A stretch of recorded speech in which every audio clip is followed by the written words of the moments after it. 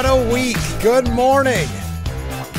And welcome to Frankly Speaking here on WYDC TV Big Fox. I am your host, Frank Acom, and we are broadcasting live and proudly from the Hesselson studio here on Market Street in Corning. And what a show we have in store for you today. Not only will we be talking about Kamala Harris's speech last night in the DNC in general, we also have guests from Sweeney Todd, the demon barber of Fleet Street, and that's Elmira Little Theater. Putting that on tonight is opening night, so we're going to talk with them. And in the 7 o'clock hour, fan favorite because it's Phil Friday, Assemblyman Phil Palmesano. We're going to ask him what he thought about the DNC as well. But most importantly, it's about what you thought of the DNC. Were you as disappointed as every American, apparently, if you watched any news this morning?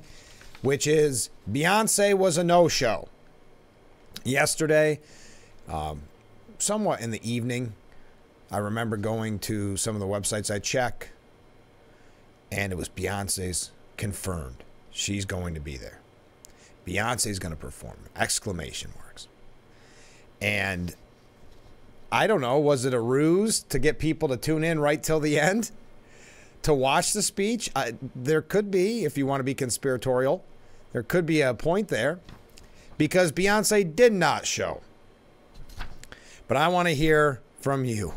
I listen, the whole celebrity thing doesn't impress me, but I'm the outlier. Uh, it seems as if, actually, I would say, well, a little bit of news I watched this morning getting ready for work.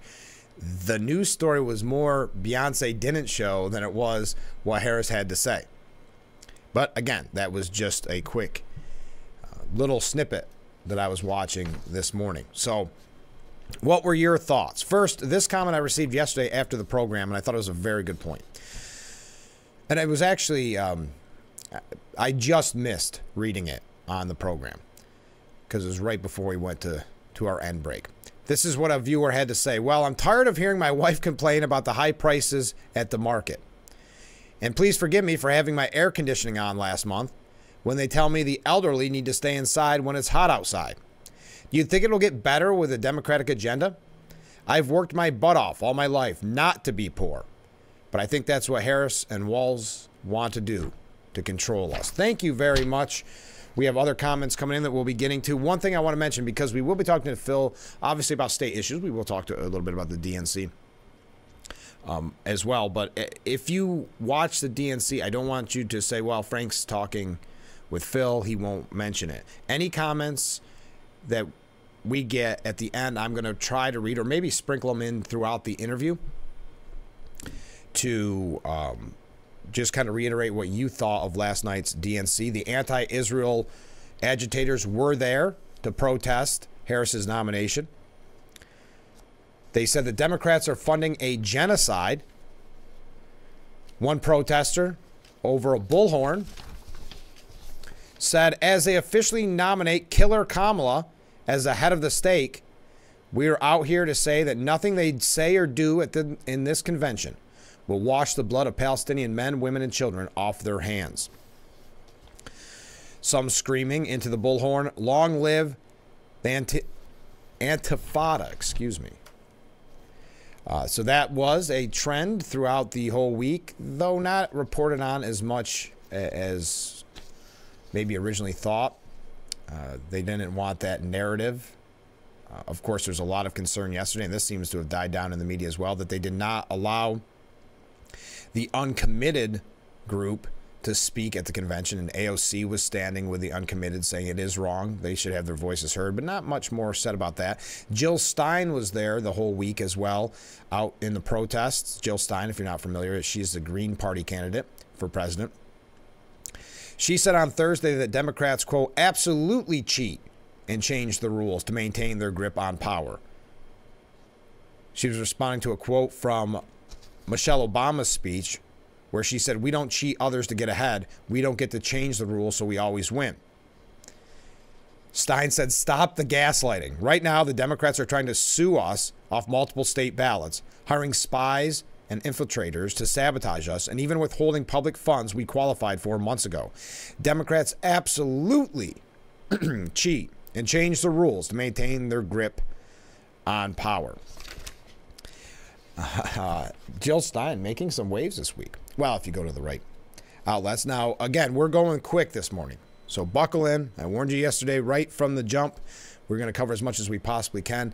Uh, again, the big story, and not something I would typically talk about, uh, but worth mentioning the outrage by many in the public that probably didn't want to turn in uh, and watch the DNC or tune in to, to watch the DNC last night, but they heard Beyonce was going to perform. And it was from reputable sources. I mean, it was coming from everywhere.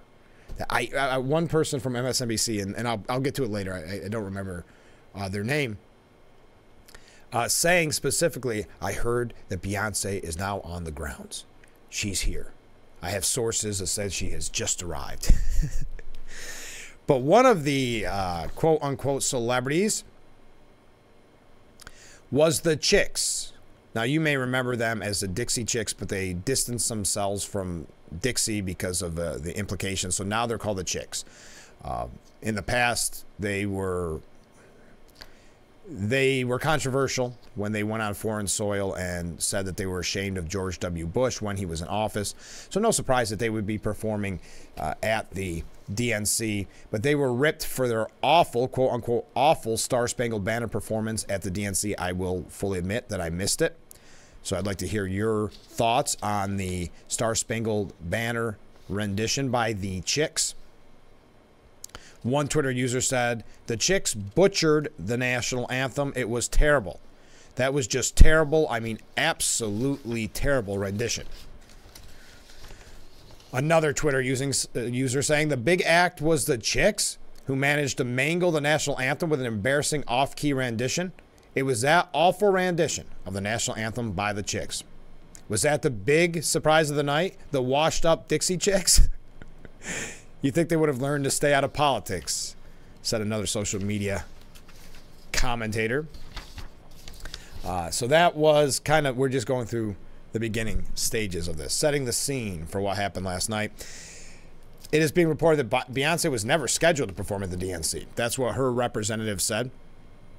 Now, originally, yes, so you may have seen the reporting. Uh, if you're like me, just randomly check a couple of uh, trusted news sources uh, throughout the day. And TMZ, which is not a source that I check, but uh, others had cited, TMZ said, as you'd expect, Beyonce's appearance is a huge deal, not only for Harris and the party, but in Chicago as well. We told Chicago PD is on high alert as it's involved in security for Beyonce at the United Center Arena. We don't know what she'll be performing, but the smart money is on Freedom. Must be one of her big songs. And it's been the Harris Walz campaign anthem.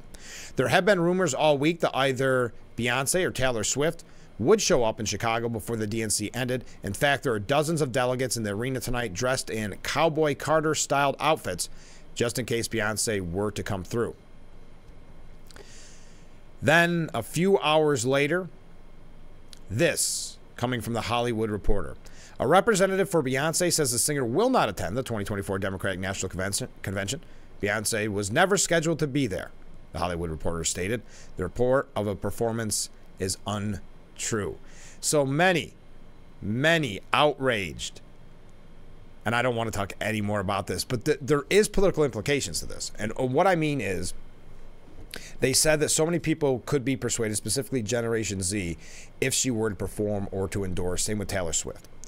And they said that they could swing a lot of Gen Z voters to vote either for or against because of that endorsement. So a lot of people, because Beyonce is very popular, a lot of people tuning in to watch the DNC just to see her performance. So imagine when you feel slighted and angry at that, and potentially angry at the DNC, the Democratic National uh, Committee, for perhaps uh, perpetrating that lie. You may feel betrayed, and maybe justifiably so. Uh, so that does have political implications where people uh, could be outraged enough to tune out, to not vote, because that's sadly the state of celebrity in this country. So I'm not going to talk a lot about that, but I do find it very, very interesting. And I and I will admit, when I first saw that it was reported that she was going to perform, I said, "Uh oh, that's going to be the whole story. It's going to be how historic it was." Uh, so to have her be a no show, kind of fascinating. Now, some of the performers uh, throughout the week Jason Isbell, Mickey Guyton, Patti LaBelle, Common, John Legend. So they had performer Stevie Wonder, of course. They had performers, but not the one they dreamt of. Some Twitter users saying, hearing that Beyonce has arrived at the United Center. That's what MSNBC's Katie Phang exclaimed hours before the giant letdown. Um, hearing a lot of, but where is Beyonce? As people left the DNC, said one conservative blogger, Katie Pavlich. There's another crowd protesting and chanting, Where is Beyonce? These are all from on the ground at DNC Twitter users. After watching the DNC and hearing Kamala Harris speak, my thoughts are, Where was Beyonce? Democrats said Beyonce and or Taylor Swift would be at the DNC. Disappointing conclusion after being teased with promises of quality entertainment. Hashtag fail. Another user saying, boy, that was fast. They went from joy to the world to lying about Beyonce. But then again, lying is what they do. Another user, and this I swear I'm almost done with this. You need to lie about Beyonce to get people to watch this, we'll say, garbage. A lot of people calling the DNC liars this morning. All right, we're going to get to the actual nitty gritty, the actual politics, though I do believe that has political implications. Though you may laugh at that. Uh, I would ask you to trust me on this one. Uh, the power of celebrity, sadly, when it comes to influencing voters. But let's take our first break because we got a lot to cover this morning. We're going to hear from Sweeney Todd, the Demon Barber Fleet, Fleet Street cast members from Elmira Little Theater a little bit later on, and then Assemblyman Phil Palmesano. So get your comments in. I'm going to read as many of the comments as I possibly can, and uh, you can, of course, get questions in for Phil as well. So stay with us. We'll be right back with Frankly Speaking here at WYDC TV, Big Fox.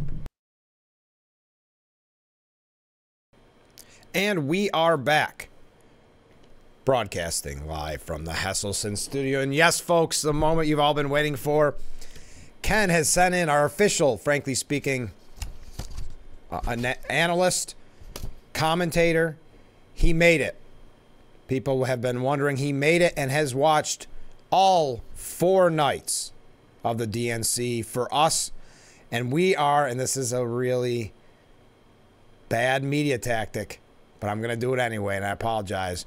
I'm going to try to keep you hooked. We're going to read Ken's comments a little bit later on. He has been the official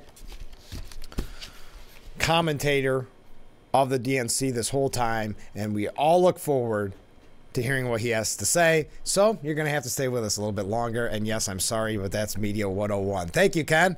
Thanks for helping me keep people hooked. We are going to read it. Uh, the takeaways. Yes, CNN has their takeaways. So many other outlets have their takeaways, but I can I can proudly say we have had the best takeaways this whole week on Frankly Speaking. But I do have some other comments to get to. One viewer said that watched the J.D. Vance movie on Netflix last night. Very moving. I have heard that. I have not watched uh, Hillbilly uh, Elegy. Excuse me. Um, I actually, um, one of my coworkers got me the book, and I plan on reading that. It's just been obviously a busy couple weeks, so I'm I'm going to start with the book and then watch the Netflix movie. So uh, thank you for that. Another comment from a different viewer, watched most of the DNC last night in search of some of the quote joy that they always talk about. My search for joy, futile in my view, kind of like Bigfoot or Loch Ness monster. Yes, always hoping that that that one extra documentary you watch will finally have the Bigfoot, the Loch Ness. So I understand what you're saying. I found her speech flat, off-putting, repetitive, void of any policy, just Trump bashing and twisted statements, in my opinion, that were flat out lies. I'm glad it's over. That's my joy. I, have got to agree. It'd be nice to catch up on some sleep, and I'm sure Ken feels the same way. We'll have Ken's comments in just a moment. I thought you might like this from uh, Douglas Murray before we get into kind of the nitty gritty of yesterday. I would ask you, and I know Ken weighed in on it, Adam Kinzinger. What do you think of him? Uh, talk. What is it about? Let's take a step before I get to this Douglas Murray article. What is it about Republicans that we're that, that they're so good at being turncoats. I was trying to think this morning because I had someone text me that uh, who, who, trust me, does not like Trump or um, and is very much now a Harris supporter. And they said, I think Adam Kinzinger did a good job on the uh, on the speech, and that's fine. Uh, of course, you would. I mean, if you if you don't like Trump. Uh, but I was trying to think when when what Democrat can you point to that became a star because they turned on their party? I think the only one you could say that was effective in it and actually got some attention, though mostly negative attention, was Tulsi Gabbard. And I, I don't know if she's still technically registered Democrat or maybe it's independent. I, I don't think she's a, a full blooded Republican by any means. But Tulsi Gabbard does a great job. She actually, if you want to go back to debates with Kamala Harris, uh, Kamala Harris had one good debate. Uh, got regular friends walking by. Um, if you go back to the debate back in uh, 2019, and Kamala, as you know how primaries work, you're trying to get one point from this person, one point from this person, just keep building momentum. And she had that huge line, Kamala Harris, where she called her now boss, the current president of the United States, uh, a bigot. And it, she became a star overnight. And she took some points from people, took, and she never realized that in the next debate, there'd be people gunning for her because they wanted the points that she just gained. So she thought she was riding that momentum. If she only knew, she just had to wait it out and could just be handed the nomination. But anyway, uh, she didn't realize that people were going to be going after her and Tulsi Gabbard destroyed her in that debate. Now, the media, though, in that scenario, does not praise Tulsi Gabbard. They do not uh, prop her up and interview her as much as possible, as they do with Republicans when they turn on their party. They actually tried to destroy Tulsi Gabbard. So, if you want to make money, you want to be popular, because maybe you were never popular in your life if you want to be on the CNNs and the MSNBCs, etc., all it takes is for you to be a Republican, have no spine, have no true core beliefs, and turn on your party and badmouth your party, i.e., Chris Christie, and you will get that attention. And that's exactly what Adam Kinzinger did. Now, why did I go into all that? Because it just I was trying to think this morning. Tulsi Gabbard is the only example that I can think of that got even a little bit of attention. Can you think of somebody? But we could name. I mean, really, if you want to go through and name the Republicans who turn on them uh, on other Republicans, I don't think we have time in the show. Romney, McCain, and McCain learned the hard way that just because you badmouth your own party the whole time, uh, the media is still going to turn on you when you get that uh, nomination. But we can continue. Chris Christie, as I mentioned, Liz Cheney. The list goes on and on. And they are any one of them at any moment could be given a prime interview spot on one of the news programs because as long as you're a Republican, the bad uh, quote unquote Republican, the badmouths Republicans, you will always be praised by the media until you get too much power. Uh, so we are going to read Ken's uh, takeaways from last night in uh, just a moment. Let me take this break. We're going to go to uh, Douglas Murray's article, then a break probably, and then we'll read Ken's comments. So stay with us. We'll be right back with Frankly Speaking here on WYDC TV, Big Fox. And we are back. Broadcasting live from the Hesselson studio. We're going to get to Ken's takeaways. He's been with us all week telling us what his thoughts on the DNC, and he made it through night four. So thank you, Ken. Uh, we're going to get to those in just a moment. And yes, I am being a jerk and keeping you hooked. Uh, Douglas Murray looked at the week of the Democratic National Convention and he presents it in a Oscars format. He said, with a host of A list celebrities and B list politicians, it felt almost like the Oscars. So here we go. Best Actress Nancy Pelosi. There really was no competition in this category. Nancy Pelosi gave the performance of a lifetime, reading every one of her lines without cracking. We will not soon forget the way in which she said that Joe Biden and Kamala Harris had, quote, established one of the most successful presidencies of modern times, and then put such emotion into her voice while talking about infrastructure on rural broadband. But the standout moment was her tribute to Joe Biden.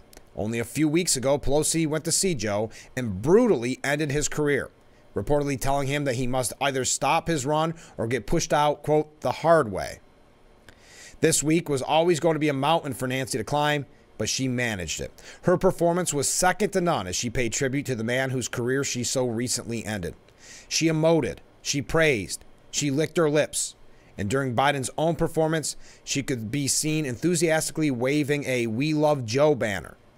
It takes an actor of once in a generation skill to do what Nancy did. Then, Best Supporting Actress Hillary Clinton, the former First Lady, is a master at the supporting role, so it was inevitable that there would be artistry in her performance, and so it proved. Who could fail to be impressed when she talked about the glass ceiling that she and Kamala had done so much to crack? Or the way in which she held a smile even as she said that Kamala would, should be the first woman to make it to the Oval Office. Some viewers may have got the feeling that Hillary was about to grab a bigger trophy and burst out screaming, It should have been mine at any moment, but she didn't. She kept herself measured and turned in a performance of rare, multi layered complexity, underscored by a raw, Rage. Best actor Bill Clinton, the boy from Arkansas, took the stage for half an hour to remind people of the good old days, by which we mean the days of George Washington.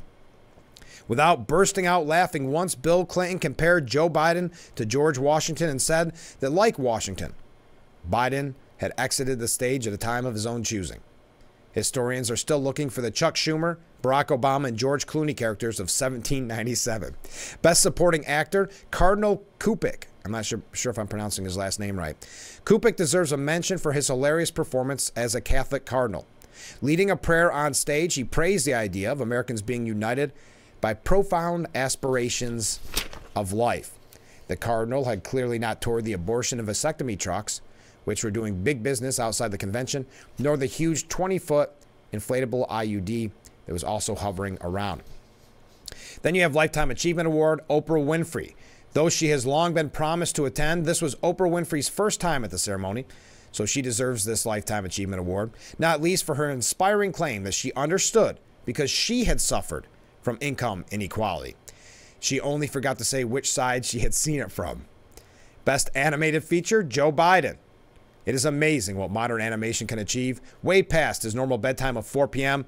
A character amazingly resembling Joe Biden took the stage. He managed a whole speech, whipped himself up into a rage over things that nobody said, and wiped a tear from his face as he accepted the gratitude of a party that wanted him gone.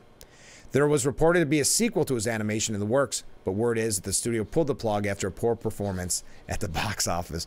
Best Picture, Teresa Workman. The folks behind the ca- camera often fail to get the recognition they deserve. So hats off to the cameraman and editor for their cutaway to Teresa Workman on Wednesday. Have you heard about this, by the way? You you got to feel for this Teresa Workman. I'm not sure who she is. Uh, she's a delegate from Maryland.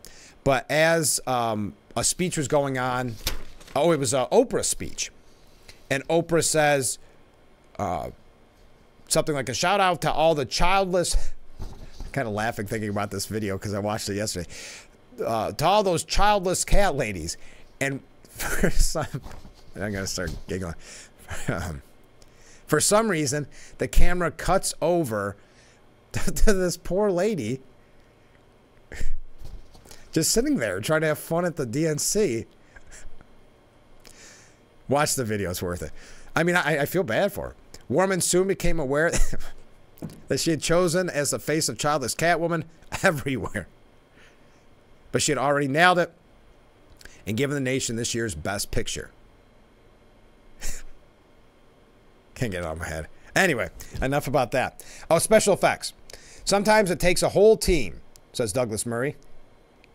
And the award for Best Special Effects has to go to none other than Kamala Harris and her team of advisors. In a matter of weeks, they've managed to turn a hopeless candidate into a frontrunner. The first special effect was the claim that the crazy Kamala laugh was not embarrassing, but was in fact brat, whatever that is. That was a thing going on. Then we learned that all the word salads and wine mom mannerisms were in fact joy. Finally, we are being told that someone who has been vice president for the past four years was both in charge and not in charge, knows what to do but hasn't done it so far, and can both claim credit for the economy and yet insist that it needs fixing. In the process, the Democrats have managed to create a whole new candidate. Not the Kamala we thought we knew, but a new special Kamala, who we apparently don't know at all. A Kamala who is hyper competent, super inspiring, and a fresh face in politics. It rivals Avatar, The Matrix, and Star Wars as one of the greatest special effects achievements of all time and deserves the top prize. There we go. I just thought that was a unique way of looking at it and recapping the whole week.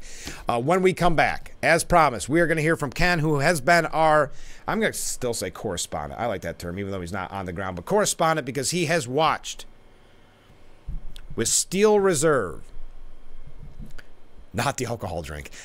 um, well, maybe uh, the whole four days of the DNC, and he has recapped it for us each day, and we will have his final look back at night four of the DNC when we come back. Stay with us. Also, we have guests from the Elmira Little Theater coming up, and of course, Assemblyman Phil Palmesano. I'm going to stop trying to giggle here over that picture in my mind of that. You got to look it up, folks. We'll be right back with Frankly Speaking here on WYDC TV. Big Fox, stay with us. And we are back with Frankly Speaking. We're having a blast this morning. I'm so glad that you joined us as we broadcast live from the Hesselson studio. Coming up in just a moment, we will hear from Elmira Little Theater because tonight they open Sweeney Todd, the demon barber of Fleet Street at the Clemens Center. So we're going to hear from Alice Williams, who plays Sweeney, and Heather Haskins, who plays Miss Lovett. So that's coming up in a little bit. And of course, Assemblyman Phil Palmesano. Uh, so it's only fair that we get to Ken's uh, takeaways, and I, have kept you hanging long enough. But before that, a couple comments from viewers. Good morning, Frank. Good morning. I forced myself to watch Kamala last night. Absolutely nothing substantive in her speech. No policies were discussed, nothing of value for the American voter. Truly sad to see Adam Kinzinger attack Trump and his performance while claiming conservative values is abhorrent. While he claims meaning Adam Kinzinger claims conservative values. It's abhorrent. Yeah, it, it, but aren't you used to it? I hate to say that. I'm not knocking what you're saying at all, but aren't we like Republicans? Listen, Democrats are fine with not being able to vote, uh, knowing that the system is always rigged and that the elites get to pick because they're used to it. I mean, go back to Bernie. Now we see this year uh, Harris getting the nomination without ever receiving a single vote. The man who spoke day one received the votes, and he is not running for reelection because he was pushed out. They, they must be used to it. Republicans, I think you just got to get used to the fact that the turncoats are going to get the most attention, get that national stage. As I said, we could spend the whole show. I, the easy ones are, you know, Romney, Chris Christie, Adam Kinzinger, Liz Cheney. Um, we can go on and on uh, throughout history. McCain. It's kind of sadly what Republicans do, and I don't know if it's because they want to be liked by the quote unquote cool kids because they weren't popular. I don't know if it's because they want that speaking spot at the DNC. Keep in mind with Adam Kinzinger, by the way, the Democrats redistrict his district, and it cost him his job. That and his bashing of Trump, it cost him his job, and that there he is stooping and bowing to the Democrats and endorsing Kamala Harris. But thank you for that point. Uh, okay, and here, Ken, as we get ready to read Ken's takeaways, we have a question for Ken this morning from a viewer. My question to Ken would be after watching so much of, of the rally, of the DNC, does he feel dirty? That's a fair question. After watching so much, all four days, do you feel dirty? Maybe he needs an emergency trip to a Trump rally. All right, here we go. Ken's takeaways. Ken has been kind enough to be our pundit here on Frankly Speaking and staying up each night to watch the DNC. Here we go. I made it through night four of the DNC. I'm still a little shaky from the NoDoz and caffeine. This has been a long week for you, Ken. I think my wife left me and the cat is attacking an effigy of the orange man. when thinking about if it was worth it, I keep going back to the fact that at 70 years old, I wasted the last four days and will never get them back. That's a good point. At the risk of sounding like a broken record, it was more of the same. Demonize Trump and the Republicans, praise Kamala and the Democrats. One of the biggest arrows in the Dems' quiver is the fact that if you say a lie enough times, it will eventually become the truth to people that aren't critical thinkers. Absolutely. Also, they have the media to uh, amplify and echo, and we can't we can't take the importance of that away. But here we go. Elizabeth Warren did her job to keep up the Democrats' dishonest talking points. I wonder how much money she made as a professor at Harvard by lying about her Indian heritage and what actual ethnicity didn't get hired because she lied. Uh, amazing point. I see that she broke down and cried as well. I mean that that is a huge point. You're exactly right. It's not just the fact that she cheated the system. It's about who suffered because she cheated the system. Great point. Al Sharpton did what he does best. Lied about Trump, like the fine people on both sides lie. Everything he preaches about is racially charged. I wonder if anyone is ever going to take him to task for still not paying his taxes. And that has been a, a common refrain about him not paying his taxes for how long, Ken? I mean, as long as I've been in this business. And it's true. Anyway, I don't just mean in TV and media. Next up, the gun violence stories were incredibly heart wrenching. I agree with common sense gun control, but not outlawing commonly used guns, lying about them being weapons of war, government confiscation, or red flag laws that don't have penalties for the accusers if they knowingly make a wrongful accusation. And I wonder why they won't consider hardening our schools. Exactly. Next up. Leon Panetta should be ashamed of himself for the lies he told about Trump and saying Trump didn't respect our troops.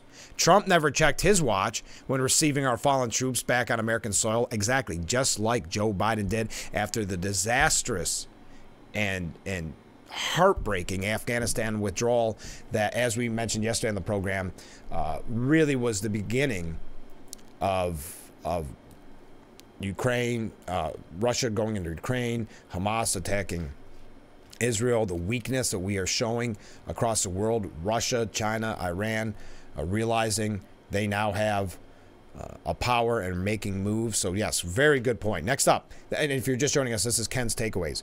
Gretchen Whitmer parroted the rest of the Democrat lies. Did you see that CNN? Um, I don't know if it was on other outlets, but I see that the CNN feed went uh, dark for two minutes of uh, Governor Gretchen Whitmer's speech. As someone has stated, someone's getting fired. Yes, that two minutes. Why did it black out? Went to MSNBC to watch instead, said one commentator. Yeah, not good for CNN. Continuing with what Ken had to say. Adam Kinzinger, one of the biggest Republican turncoats, took great pleasure in demonizing Trump and the Republicans while praising Kamala and the Democrats.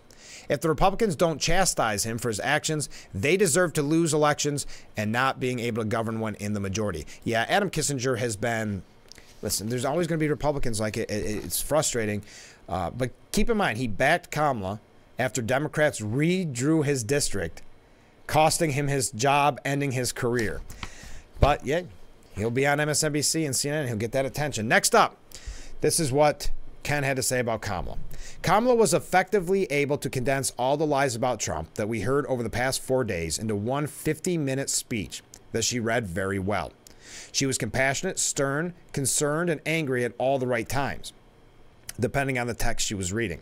She stated multiple times that we need to go forward and not backwards, apparently ignoring the wonderful things the Biden Harris administration had done in the past three and a half years. Yeah, exactly. Going back to what Scott, Settings, uh, Scott Jennings said, Democrats have had control of the White House for 12 of the last 16 years. So what's this going not going back? I mean, she has been there three and a half years, and that's exactly what Trump said uh, in his post on it. Why haven't you done these things then? If you have all the answers, why have you been sitting on it for three and a half years? Continuing what Ken had to say, I couldn't help but think during her speech that she is a self confirmed liar. When she was asked why she would work for the man she called a racist, she laughed and said it was a debate, which obviously meant that she was willing to lie about anything to get her desired results. Why would, well, maybe she wasn't lying. Maybe she, I know she said it was a debate, but maybe she does think he, uh, he's a bigot.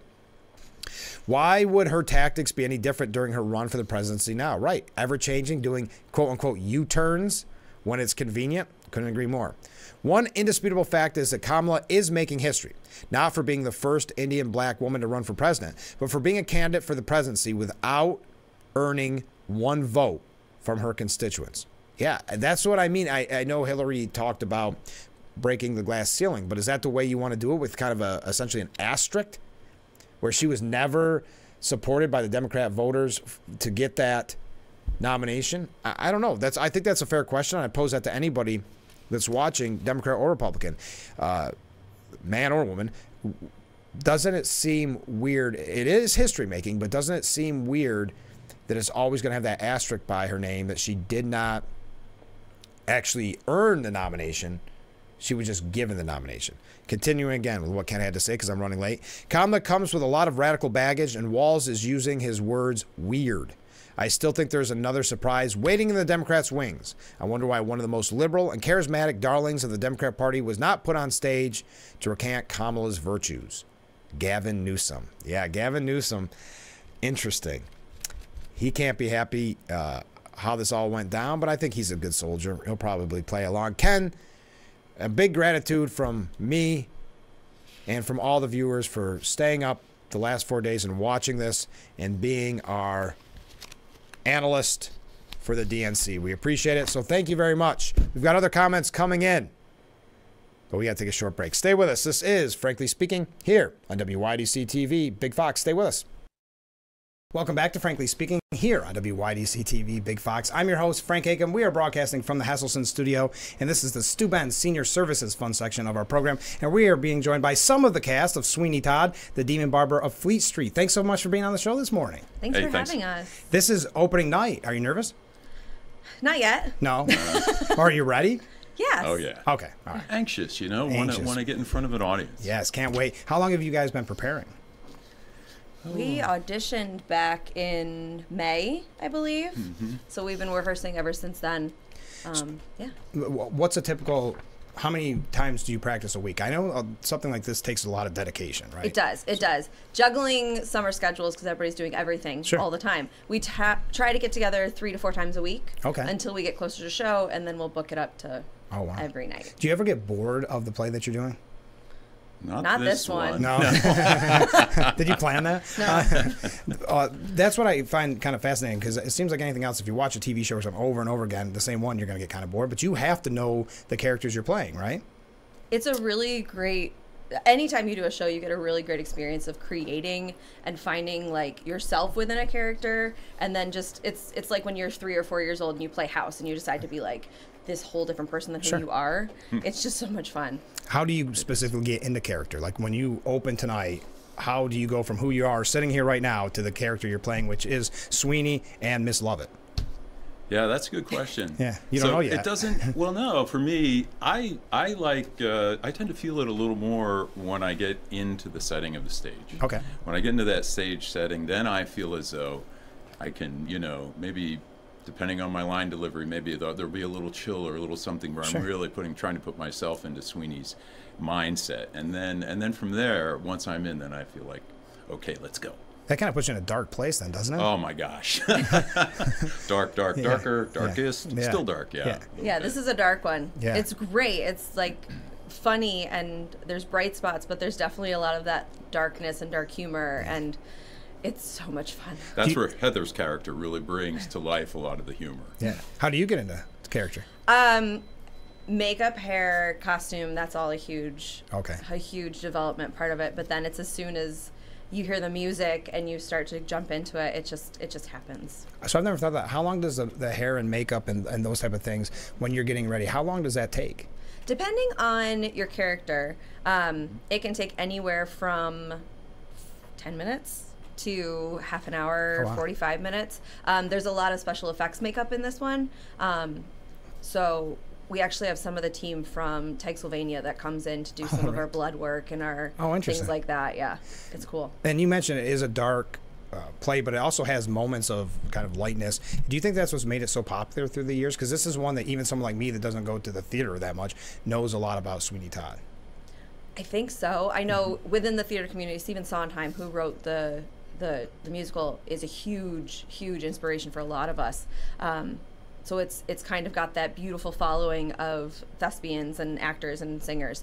Um, but because it's so popular, Mm-hmm. and there's there's the movie with Johnny Depp and Helena Bonham Carter, Oh. that it opened it up more to the masses. So it's really it's really out there and available more than some other shows that are available. And there's a good balance, I think. I think the way it's written, a, a lot of the dialogue, there are really some foreshadowing that if you're really like it's one of those things where you can mm-hmm. go back and see it again and like the more that you know i look at the, at the lines and such the more i can really appreciate even the little innuendos. And then there's such a nice balance between the really dark side and believe it or not the comedic side. So I, I think there's a lot of things that drive it to make it popular. Now you mentioned the movie, which I guess I kind of forgot about the movie. Is that something that you watch in preparation or try to avoid in preparation? Everybody's different. Yeah. Everybody's Yeah. different. And you'll find when you speak to different people how they prepare. Some people will refuse to watch anything. Yeah. Some people watch will watch everything that they can Yeah. find to like steal little snippets of ideas. Um, I kind of do both. Okay. yeah I, I, tend to I, I try to find not to steal things but to see oh well, that's an interesting way of approaching or well there's 180 degrees out from that approach you know it's nice to just kind of see those different ideas that then Mm-hmm. try to put something together Now, how long? Because you mentioned other plays and getting into character. How long have you been involved in acting, and also how long have you been involved with Elmira Little Theater? me first on that Yeah. my very first one with elmira little theater Oh, that's great. yeah so i relocated to this area uh, last year so um, prior to that i don't know you know 30 years worth of acting Okay. so um, yeah so i've been doing it for a little bit Yeah. yeah I'm the opposite. Okay. I grew up with Elmira Little Theater. My mom was a big performer in the in the organization, and I grew up playing around the costume shop and things like Yeah. that. So I've been involved ever since I can remember in Elmira Little Theater, and I've been Yeah. just like rocking and rolling ever since. And we've talked in the past with uh, members of Elmira Little Theater, but if someone's interested in becoming involved, what's the best way to join Elmira Little Theater? Because I know it may not just be acting. There's so many other parts to this that go into a success, successful play. Absolutely. You can always, if you want to be on stage, they're always having auditions. Um, they are all over Facebook. When they post their auditions, they do that there. And they also do their website, elmiralittletheater.org. Um, and you can also reach out to them through that website if you want to work backstage doing tech, if you want to do sound, lights, um, anything like that as well. Uh, we're talking about Sweeney Todd, the Demon Barber of Fleet Street. Now, this kind of shows my ignorance on this. Is this considered a play? Because I've been using the term play, or is it considered a musical? Or neither? I don't know how that works. Well, some people have called it an operetta because there's so much Just of the dialogue that's. Yes. that's that's sung. So I wasn't so even halfway. uh, yeah, I would consider it in or more modern terms a musical. okay. Yeah. Is the music part difficult? Would you rather have a play that you're in where you don't have all this music? I love the music. Oh, okay. Yeah, I if love it. Yes, it is very difficult. Okay. This is one of the more difficult plays that I've ever been a part of. Um, but I love a good musical. Okay. I love I it. love the challenge of it. Uh-huh. Uh, this this particular Sondheim has a lot of, I'll say, from a musical perspective, dissonance in it, Okay. which at times can be difficult to, you know, enact and, and send out there properly. But that the challenge of that and the challenge of the different emotions throughout it, oh, I just love it. Yeah. Yeah. It seems stressful to, to remember the lyrics. Because think about when you're in your car and you're singing a song you think you know and you still screw it up. So, right? Right? Oh, so every time. So you have to. Uh, so Is you, he trying to put pressure on? No. I didn't. Mean, I didn't to do that. Uh, but I'm just thinking, and while you're trying to remember the lyrics, you also have to act. That's so many more levels to it.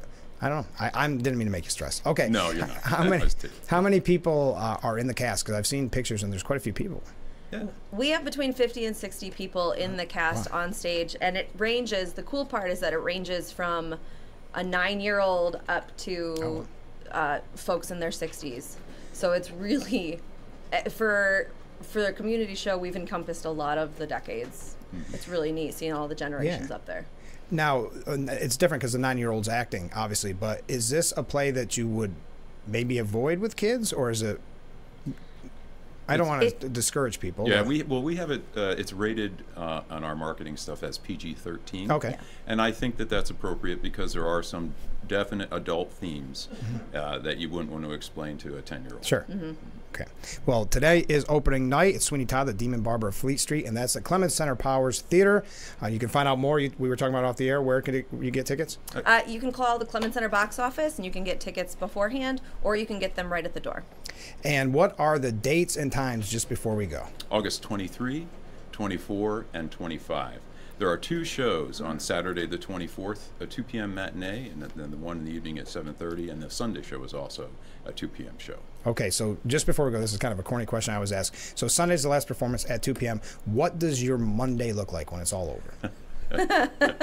Coffee. coffee, just lots of coffee. Coffee and erase a your whole memory. lot of not doing anything Yeah. Do you think you'll have the song stuck in your head for a long time after? forever. Oh yeah. for Forever. Sure. Yeah. For sure. So again, get tickets is going to be a really big, uh, uh, of course, audience. And when you were saying you can get them at the door, but you would probably recommend getting them ahead time, right? Always. Yeah. Yeah, online is uh, clemenscenter.org. I Okay. think is a good way to uh, find it if you want to go online too. All right. Well, enjoy. You worked hard for it. I hope everything goes smooth, and we'll talk next time. Elmira Little Theaters in town. In town, they're always in town. But when they when they want to come on the show, okay? Awesome. Thanks Thank so you so much. much. All right. We'll be right back with Frankly Speaking here on WYDC TV. Big Fox, stay with us.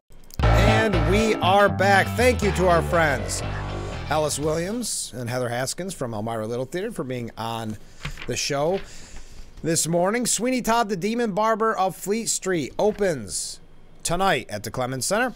Thank you so much for being on the show. Oh, by the way, since we have just a moment, we're going to read some comments here. Good luck to all of those playing in the Sheriff's Golf Tournament today at the Bath Country Club. I know uh, some of you signed up, uh, so good luck. Hit them straight. All right, couple comments from viewers. I feel a little bit of Trump per day gives me my daily dose of joy. Thank you very much. Another comment. Good morning, Frank, and we're going to count that. Good morning. The DNC convention was a total waste of time. The Democrat Party is about endorsing communism. Thank you very much. Keep those comments coming in. Uh, as I mentioned, Assemblyman Phil Palmesano will be our guest in the next hour. So make sure uh, that you get your questions in. But also, if you want to weigh in on the DNC, we will sprinkle them in uh, throughout our time with Phil. So don't think that you have to stay quiet on what you saw last night. Feel free to weigh in. So Kamala Harris has accepted the Democrat nomination for president last night. She calls it a new way forward. I guess that new way forward is to never receive a vote and just be handed the nomination. It's kind of an interesting. It is a new way forward. It's historic. Why not? Kind of makes it a lot easier, I would think. A lot of people on the street this morning taking the stage to a thunderous standing ovation. This is coming from the AP, by the way. As she closed out the Democratic National Convention in Chicago, the vice president argued that her personal story and background as a prosecutor made her uniquely qualified to protect America's interest against a former president she casts as only having his own interest in mind. So we had Ken's amazing takeaways all week. Let's see what CNN's takeaways were from yesterday. They had eight takeaways. Number one, Harris offers a return to pre Trump normalcy. Wasn't that what Biden ran on too? I'm, we're not going back, Harris said. We're not going back, apparently, to the last three and a half years. It's such a weird. I mean, again, we know the media is not going to scrutinize it. We know they're not going to go after. So she can really say these things and not have any kind of implication uh, to, you know, with the media going after her is not going to affect her at all. So they're not like Scott Jennings. I know I keep quoting it, but like he said, Democrats have been in control of the White House for 12 of the last 16 years. So when they talk about not going back or they're going to make these changes, where have they been for the last three and a half years? Continuing, Harris gets personal. She told a personal story.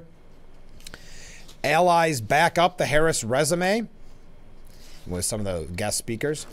Uh, you got to meet the Harris clan, it says. Trump and many other Republicans for years have made a show out of mispronouncing Harris's first name. Harris's two young grandnieces went on stage to say how you pronounce it. Uh, do they make a show out of it? I mean, I think there was just confusion from the beginning on how to say it. I mean, it's Kamala. I think most people say. Anyway, poignant moment from people affected by gun violence was a takeaway. The Central Park Five members said that Trump wanted them dead. The Gaza war opponents were denied a speaking spot by the DNC.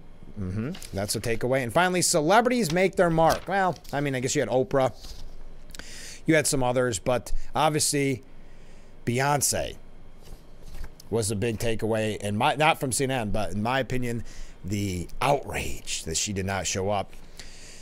Harris took aim at Trump as she vows to be president, and it is seven o'clock, and I'm running extremely late. Hour number two coming up after this. I apologize. We'll be right back. And we are back. It is hour number two of Frankly Speaking. We have Assemblyman Phil Palmesano coming up in just a little bit. I want to go through some of the media coverage because it is as predicted that it was a historic speech, it was a moving speech, et cetera, et cetera. The first black woman to claim a major party nomination on Thursday styled her unlikely journey to the Democratic nod as the springboard to lift the country to a new place after years of being torn apart by its bitter divides. Why has this not been happening since day one? Anyway, the vice president, who no one thought would be the candidate even five weeks ago, offered voters a clear choice in a steady and patriotic Democratic National Convention address in Chicago. This coming from Stephen Collinson. He quotes Adriana Shropshire, the executive director of Black PAC, a black led advocacy organization, explaining that Harris was offering a chance for, quote, America to become its best self after years of discord. What are our aspirations? Who do we believe ourselves to be? How do we understand that the highest ideals of this country in terms of a multiracial democracy? It's been eight years of chaos, of destabilization, and Joe Biden becoming a transition point. It's been eight years of chaos, of destabilization. Trump was in there for four years. I'm confused. And I think that we're seeing right now is that people are saying we can be better than the worst version of ourselves, which they attribute to the Trump campaign and the Republican Party. Harris leaves her convention with an exuberant united party behind her. Democrats are electrified by the metamorphosis of the ticket, backed by Minnesota Governor Tim Walz, who has become America's coach. Did you know? I didn't know this, and, and bear with me. This is just kind of one of those small political things. I found out yesterday that Walz in that championship team was a coach, but he was the assistant coach. Now that might not mean anything to you. I just I didn't know that. That's not something they presented. Just like you know, kind of how there's been criticism of him misstating his um, his rank in the National Guard. And I'm not saying he's misstating it. He's still a coach, but I, I didn't realize that he was an assistant coach. Uh, take that for what it's worth. I'm just trying to give you some some facts. Okay. More on the media coverage. David Axelrod was on CNN and he said, The last point I wanted, Scott, to your point about Biden and the strategy of the Republicans, which I understand it to be a reasonable strategy, is to try and saddle her with some of the negatives that Biden has. It is really interesting how little she mentioned Joe Biden in this speech. In certain ways, this was her declaration of independence, and she became her own person in this speech. I've told you before, we'll see how it turns out. I think you're going to have a hard time saddling her in the way that you guys are hopeful that you can. Yeah, because the media is not going to run with the fact that she's been even vice president for three and a half years. That is going to almost be glanced over. So when she says stuff is going to happen on day one and she's going to fix this and fix that, they're not going to say, well, where has she been for the last three and a half years? It's going to be, it's transformative. It's amazing. MSNBC's Nicolle Wallace said Kamala disqualified Trump from ever being the commander in, in chief. The speech is so many things. I think there was some incorrect analysis out there that she somehow had to pass the commander in chief test. She is the sitting vice president. The Wall Street Journal reported on her the vital role she had in helping the hostage release. Big efforts from the Biden Harris administration. I think what she did tonight was disqualify Donald Trump from ever being the country's commander in chief. Um, next up, Wow, Jake Tapper was just gushing. He said, Vice President Kamala Devi, is that how you say it? Harris, age 59. This is Jake Tapper, daughter of Oakland, accepting her party's nomination. It was a speech that four weeks and five days ago she was not preparing to make. But as she said, she is no stranger to unlikely journeys. She shared with us her origin story as a prosecutor with her childhood friend, Wanda Kagan, who is here tonight being molested by her, uh, by her stepfather. She talked about representing the people, Kamala Harris for the people. She discussed how she would be a president for everyone and wanting to perform an opportunity economy for the middle class. It was a speech of progressive politics and unifying rhetoric. A speech with many, many shots across the bow at Donald Trump, her opponent, and a speech in which she sought to portray herself as a credible commander in chief, patriotic, firm, confident, and credible. She discussed Israel and Palestine. She discussed Ukraine. She discussed the threat from Iran. It was a remarkable address, one that I've never seen her give quite like this before. A very, very powerful speech. You got to go back, I think, to Barack Obama in 2008 for a Democratic speech like this. Perhaps even a speech like this at all. I I don't want to pat myself on the back here, but I was pretty close these last few days and how the coverage was going to be, wasn't I? Uh, they may have uh, changed the wording a little bit, but I was pretty close. Uh, I was real close. But anyway, and you were too. You knew what was coming. It was going to be historic. It was going to be unifying. It was going to be a powerful speech, perhaps the most powerful speech ever given. It was the second coming of Barack Obama. We knew all of that. We've said it throughout the week. Go back to the tapes. So it comes as no surprise. Though it is interesting, Kristen Welker on, M- on NBC, excuse me, had this to say. She said that Harris took immigration in Israel on head on. What was notable when she talked about her vision for the future, it sounds a lot like she plans to build on the Biden agenda. What this speech did was really fill in a lot of those blanks about her biography, growing up, being raised largely by her mom, painting a picture, again, that the theme of a strong mother as a figurehead that she had at the head of her table who inspired her to become the person who she is. What inspired her to become a prosecutor. All those details getting filled in. And then when she talked about that she plans to do for the country, she talked about things like cutting taxes for the middle class, she talked about things like voting rights, things that really matter to Democrats. But again, we didn't hear a whole lot about how she would be different from a Biden administration. Interesting. Admitting what we all know. Now, Trump blasted Harris on Truth Social. He said she didn't mention China. She didn't mention fracking. She didn't mention energy. She didn't mention meaningfully Russia and Ukraine. She didn't mention the big subjects of the day that are destroying our country. There are 60 million people in poverty in the U.S. under her watch, and she doesn't even talk about them. She's talking about how great San Francisco was before she destroyed it. Probably not a good idea. No specific programs, all talk, no action. Why didn't she do it three and a half years ago? Trump asked. During the speech, Trump referred to Harris as a radical Marxist and said she stands for incompetence and weakness while the country is being laughed at all over the world. Harris called Trump an unserious man in her speech and said the consequences of putting Donald Trump back in the White House are extremely serious. And how he would use the immense power of the presidency of the United States not to improve your life, not to strengthen your national security, but only to serve the, only to serve the only client he has ever had himself. So, what were your thoughts of the DNC? Uh, I, as I said, I will be reading your comments throughout our interview with uh, Assemblyman Phil Palmesano, who's coming up in just a little bit. I think we have all of our housekeeping in order here. Yes, we do. Oh, I did learn one thing. I know I've been promoting all week, and, and I'm going to be promoting up until September 8th for the Salvation Army as um, they have that big barbecue fundraiser coming up on the 8th uh, with Corning Catering it's just $15. We have tickets here. You can get them at Brown Cigar Store. You can stop over at the Salvation Army. I really hope that you'll be a part of it. But I also learned, and I know a lot of people like this, that we have a new way. Look at that. Scan that with your phone right now, and you can order tickets online for the Salvation Army fundraiser. As I continue to say, they are in need, folks. That does not mean they're not doing all the good that they normally do. Of course they are. They're such a, an important part to our community. It's just becoming a struggle. So we're holding this big fundraiser. And full disclosure, I am the chairman of the advisory board. Uh, but please help out. And they tell me these QR codes are really popular. So there you go. Please purchase some tickets. All right, we got to take our first break of hour number two. Something that Phil Palmesano will be joining us shortly. Stay with us. This is Frankly Speaking as we broadcast live from the Hesselson studio. We'll be right back.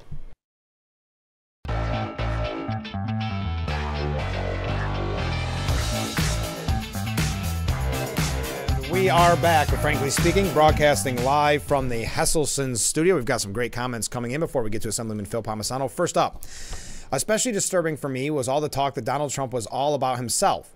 If he was, he wouldn't put himself through all the stress, get shot in the head, and all the other abuse that they throw at him. He'd still be enjoying his billions of dollars in his retired life. Good point. The other disturbing thing for me is Beyonce got more airtime than an attempted assassination of a former president. That is also a very good point. Beyonce getting a lot of coverage for not attending. The entire do as I say, not as I do stance of the Democrat Party is possibly the winner of the most disturbing thing to me. Thank you very much. Now, someone had asked Ken, who has been our official correspondent all week, staying up late to watch the convention so we would not have to. Someone asked after the week, does he feel dirty? This is what Ken responded to. To answer your viewer's question on if I feel dirty after watching the DNC, let's just say we are headed to the store shortly to get more soap. My water bill has skyrocketed in the last week, and my inpatient therapy is starting to, today at noon. But I have to say, being a political analyst for the fastest growing political political commentary show in America, frankly speaking, was worth it. Well, very kind of you, Ken. Thank you so much. Now we go to our interview. Sorry, I had to read all those comments. Phil, thanks for joining us this morning. Good to be with you. So we've got a lot to cover. But first, Sure. obviously, we have to talk about the flooding because I know you've been very hands-on with this. And what, how heartbreaking. It's it's devastating. It's Um, unbelievable. I mean, I felt bad. Well, obviously, I was uh, when it happened. I was actually out of state. I, we'd taken my mom down to North Carolina to see her sister, who celebrated her 90th birthday. Oh, wow. My mom's 84; she's 90, so that was nice. But Yeah. when it hit on for the Friday, I mean, we were getting reports, and I started a text chain with the Senator O'Mara, his staff, my staff, uh, uh, um, Congressman Langworthy's office, Joe Giglio's office, with Joe Sempolinski and those guys Yeah. just to uh, make contact and say so we could start sharing some information. And the pictures and the videos was I couldn't believe it.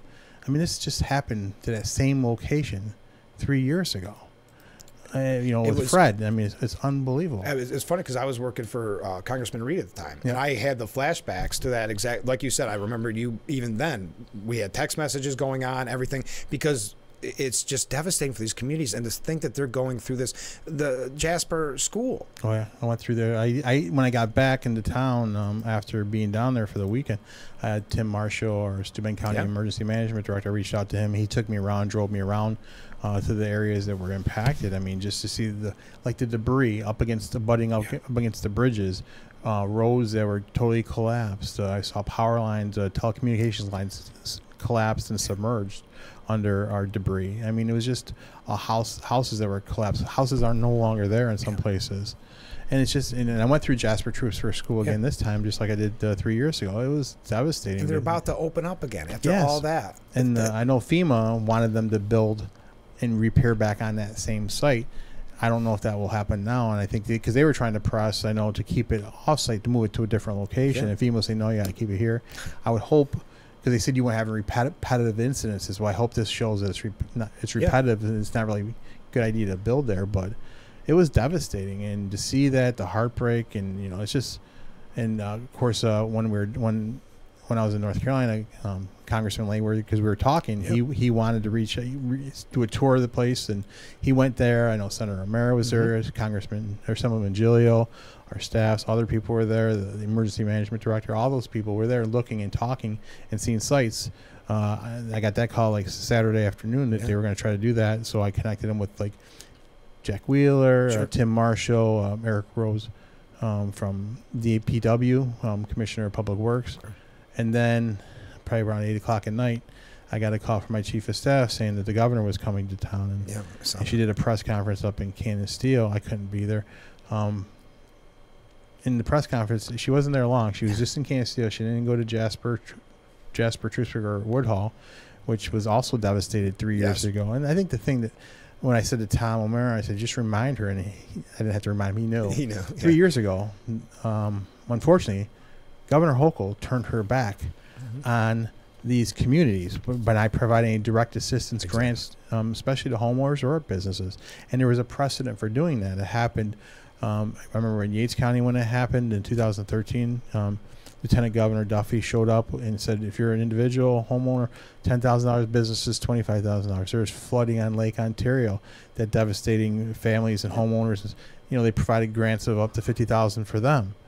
And then three years ago, nothing. Nothing. Well, what, what happened is uh, we were pushing and pushing. They were trying to get FEMA uh, assistance for those individual assistance. It didn't come through. We knew we knew it wasn't because of the history of that program. By the time they offered anything, it was seven months later, and the program wasn't reimbursable to folks. So no one was going to benefit from that program. We were so furious. I couldn't. I remember. I was angry. I know we've talked about it. Yeah. So like we said to you know make sure we're telling the governor. Three years ago, you turned your back. You need to come up and, sh- and I'll give her credit. She came here. Mhm. We asked her to come three years ago. She didn't. I remember she went to a fundraiser here in the area, but she didn't go. To those communities. But she did, and the fact that she was here, we appreciate it. Sent a positive message, a strong message that she was with us. Her words, Mhm. she made a lot of promises, Mhm.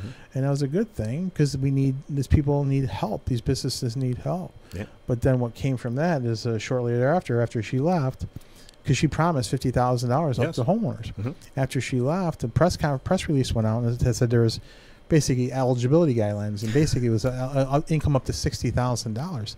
No one was going to benefit from that. No. An individual, What? um, you know, if you got a family of four, it was like eighty thousand dollars. I mean, if you have two school teachers or two people working, you're gonna and you're gonna exceed those income guidelines. So your livelihood or your house or whatever is destroyed, and you're punished for making too much, which is a very Right. low bar that they've set. And, and I absolutely, and just to give you that comparison, we said this in Lake Ontario flooding. Yeah. I mean, you have lake shore homes. Yes. There's no income limits. And then if you were, if it was your primary residence, Yeah. But if it was your secondary residence, you they you were eligible for assistance if you made up to two hundred seventy five thousand dollars. So None where does that make sense? sense. And in this, you know, the southern part of Steuben County is is is, is, I mean, a lot of Steuben County is a challenged rural area. Mhm. So, but to think that they you, you shouldn't be at any income limit on it, period. And so we pressed. I mean, there was I know one of the I think where the, the homeowner where the press conference was held, and I, I visited her. side- Her side of her house house is totally collapsed in. Um, did a post. Um, I did an interview with, when I was with Tim Marshall. The local media reached out to me, and I met them, and I talked about this issue. Saying I brought up about three years ago, saying this there should be no income limits on this. We need to move. No. And and I, the, the the word I used that kept coming to mind with this is inclusion. Inclusion. How often do we hear Kathy Hochul, Joe Biden talk about inclusion, inclusion? Mhm. But this Yeah. policy that they put out with their press release, their press release Mhm. was exclusionary. It would have eliminated families, it would have eliminated individuals and group people who wouldn't have been benefited from this much needed grant program. So we put that out there. People, you know, we were calling. I know Senator O'Mara was calling. We were making the case. Ultimately, they changed their mind a few a day or so later. They Mhm. said they were reevaluating the income, and then they came up with this income of. Hundred and fifty-seven thousand dollars. Why that number? Certainly, hundred thousand. That's Yeah. better than it Yeah, was. but what a random number. What a random number. Well, I think they made it to fit for certain people, which is they, Yeah. needed to raise that threshold. Yeah. But quite frankly, we, and Tom said this to them. I said there shouldn't be an income limit. Period. No. Especially when you look at Lake Ontario, there was no income limit if it was your primary residence, Yeah. and if it was your secondary residence, up to two hundred seventy-five thousand. Yeah. Why aren't we using two hundred seventy-five thousand dollars? Mhm. We've told people apply. Mm-hmm. If you don't get uh, approved, let us know. We're gonna we're gonna continue to make the case because these people can't have their back turned on them No. a time. This is two times in three years. Yes, and I have a. I, there's something about it that I have an issue with when you give a press conference in front of a house, when as she did, that was destroyed, and I don't know the specifics of that person, but technically they could be excluded from this. Yes. So you can use your destroyed home for the PR for the picture, and then sorry, you're, Well, you're I'm, out of if this. I'm not, I'm 99 percent sure. yeah. Um, she was one of the people that made the post saying, Yeah. "I'm going to be excluded from this." Yeah. And they, I think they panicked and all. We realized what Oh, they yeah. did. It You went can't come- viral. It did, Yeah, yeah. yeah. See, I'm not I as big on social media I know, some people no, are. people were talking about yeah, it a well, lot. it's just it shouldn't have been any income No. limits, and that's why when we were, I was with Tim Marshall going around. I got a call from the WENY reporter, and he got Yeah. a call same time. So we circled back. He gave update, and I talked about this. That this is a problem. This is something we're going to fight for, fight against, because it can't happen. So we're glad we raised the threshold. It's better than it was, but no one should be excluded from this. And I'm just concerned there are going to be families because you could have two school teachers working Yeah. who would be excluded from this program uh, based on their income. I mean, you could have two uh, uh, manufacturing workers excluded from this program um, because of their income. If you have, you know, two people in a household or three people, whatever it might be, it's just not not. And, and when you talk reasonable. about that kind of number for a second home, Hmm. now I'm not knocking anybody that has a second home on the lake. That's great for them. But what about the person who's only home and they're, you know, it, it doesn't even, it doesn't make sense and it's so wrong-headed to do it that way. I don't even understand why they would. I don't. From a don't know. PR standpoint, I- if nothing I, else. I, I have. I really. I can't rationale the, Yeah, the, the reason behind no. that, why they came out with this number, why they used this number, why it was part. And they said, "Well, that was just part of our press release." Well, yeah, it was your your press release, not ours. yeah, yeah, And she had the ability to change, and thank God she did. yeah. But it should be no limit, period. But we'll see it. We'll track it and keep an eye on it. Um, but beyond that, I just want to say thank you um, to the to the volunteers, the not-for-profit agencies, organizations, the United Way, all those who, the Red Cross, all those who have come in Mm-hmm. to provide assistance. I saw, uh, I one where one farmers took hay to another farmers. Yeah, you know, oh, wasn't that great? I yes, saw that video. I mean, it's just that's our community. That's how resilient and strong our community is. I mean, we look out for each other. We look out for our neighbors in time of need, in time of disaster. That's what happened three years ago. That's what's Mm-hmm. happening now today. Uh, it's just nice that finally the state government is coming through and providing help to provide some direct assistance to those who are eligible and meet this income threshold. Uh, again, it shouldn't be anybody, but we should be also, in my opinion, um, providing grants to businesses who are devastated I was going to this. ask, is there? There's nothing. Um, not the direct grant assistance as that she proposed. We think that should be changed too because that was provided before. I mean, I, I think what they're going to, you know, they're going through the federal disaster declaration. I think they're, I think you need thirty-seven million dollars. Yeah. I think we should. I think we're going to hit that in Steuben think so. alone. Yeah. I mean, the damage that doesn't. Even, I, when I talked to Tim Marsh at one point, they were like, after day one, like twenty million, and that didn't even include the school. Yeah. So. I think we'll hopefully get to that, but you got to document it. You got to make sure you're showing what the losses are, so we can put that, and then we can help to repair the infrastructure. Because the FEMA money, well, what that comes in, they'll they'll cover, um, the you know the local infrastructure costs at seventy five percent. That's the other thing we got to push back on this is make sure that they're picking the state is picking up the local share Yeah. because there will be a local share to this. So usually it's federal government seventy five percent, then it's twenty five split between the federal and local government Yeah. the local government can't can't impact can't take this on. So we got to make sure that and they did pick up the local share last time on the infrastructure where they turned their back was on on the individual assistance. So hopefully we can get both of those addressed this year, and we should be doing the, the businesses. I think as it stands now, you might be having to look at SBA t- emergency loans. They don't need loans. No. They need grants. And Exactly. it's just it's just mind blowing to me, and, uh, and that's just one part of it. And, and the other part that kind of comes up along with this issue on the flooding um, is the debris removal. Yeah, I want to talk about. I got to take Yeah, a break, but I sure. want to talk about that because I think that's something that's overlooked. And Yes. and but I, let me take a break so we can get really into it. Stay with us. We'll be right back with Frankly Speaking. And we are back with Frankly Speaking, broadcasting live from the Hesselson's studio here on Market Street in Corning. This is the Steuben Senior Services Fund section of our program, and we are being joined by Assemblyman Phil Palmesano. Thanks again for being on the show, Phil. We're talking about the flooding. You know, and I've heard a lot of people criticize, not criticize, but what's happening with the Jasper School. That you know, think of the cost there, right? So much money. They were about to open. You feel heartbreaking for, for them that they can't open, and these kids were going to have their school back. And a lot of it boils down to why is this repeating itself? Why is nothing being done potentially year round to make sure, or you know, Army Corps of Engineers, whoever gets involved with this, to fix so that this doesn't keep happening? Right, and this is a good question. I will say, like, after going through the Jasper Troupsburg school Yeah. for the second time in three years, I've seen the devastation. I know when they were talking about, and they had to deal with FEMA. They, they've been dealing with FEMA for years on this, and I mean, I was on call with them and FEMA Yeah. at one point, just trying to make sure the connection was going. FEMA was insisting that they rebuild at that site, repair that building, and that's what they were they, they had to do. But one of the reasons they wouldn't look at a new location is because FEMA was saying, "Well, you haven't had repeat incidences."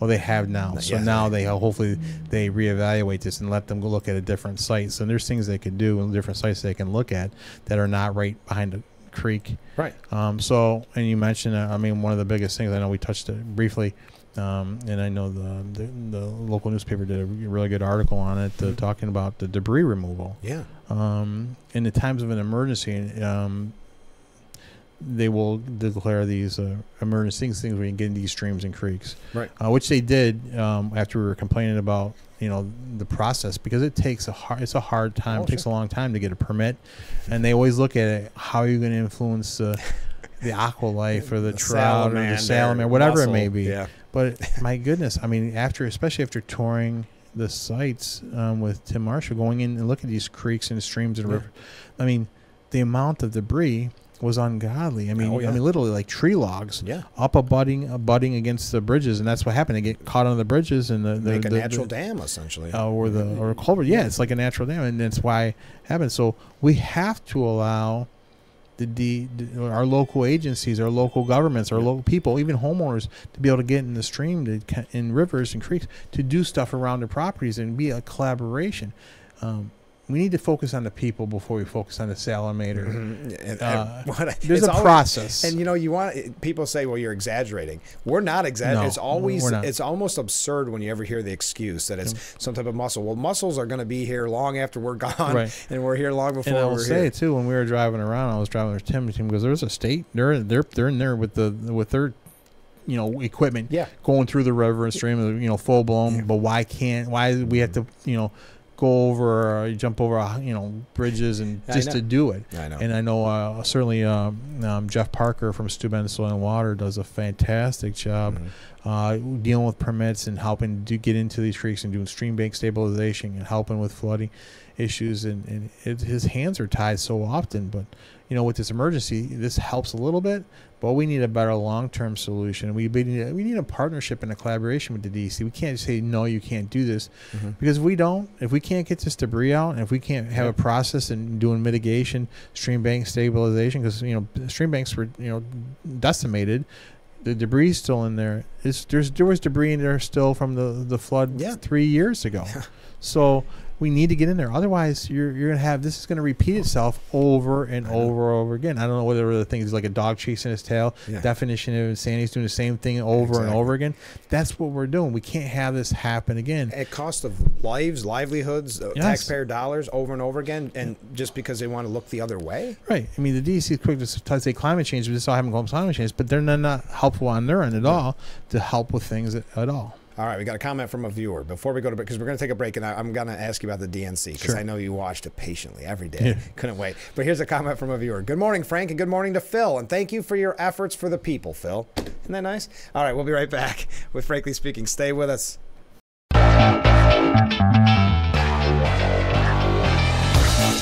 And we are back broadcasting live from the Hasselson studio. This is the Steuben Senior Services Fund section of our program because we're being joined by Assemblyman Phil Palmesano. You know, Phil, yesterday we had on, um, well, I think it was yesterday, doesn't matter, uh, Don Berlew from Watkins Glen International. Do you know, speaking of the flooding, they're offering discounts for NYSEG employees. I thought that was a great idea because they've been very important this whole summer, it seems like. Yes. I mean, that's just another reminder. I mean, what a team collaborative approach. Oh, and yeah. people, this community, whether it's businesses, individuals, families, looking out for each other. And so I just want to give another big shout out and thank you Yeah. to all the agencies, organizations, the employees, the volunteers that helped look Mhm. out for your neighbors and were there to provide assistance to each other. Again, I keep going back to the picture I saw of the farmers providing all the hay. That was so nice. I mean, it's just Yeah. that's the type community. of community we live Yeah. in, and that's the resiliency of this community. We're going to bounce back. We always do, but it's going to take some time. And you know, this collaboration, is partnership. So it's it's great that WGI is doing that and recognizing what the, our NYSEG employees and others. And so this is just we have to say thank you to all of you. So thank you. Yes, absolutely. Now we've got to talk about we were from DEC to DNC. Oh my lord. that was corny. Uh, so, have you been watching? What do you, what do you think? We've had uh, correspondence uh, on the ground, practically uh, uh, writing in every day, Ken and others, Yeah. about what they saw. We had our governor give arguably the biggest speech of her life. Yeah, I heard it. I, I'll be honest. I didn't watch much. I saw some clips because I like to look at the, the commentary Yeah. afterward. Um, I will say when you said Ken said about washing up, yeah, I've used that reference coming back from Albany. I said because it weighs some of the policies. I, Oh, I yeah. kind of references to people like you know when I'm driving back from Albany. The the further away from Albany I get, and closer to home I get, yeah, the cleaner I feel. I'm sure. So I can recognize where you know Ken was. Coming from absolutely. But yeah, so I, I didn't watch. I mean, uh, we know some of the policies that she's she's tied to Yeah. that she's been advocating.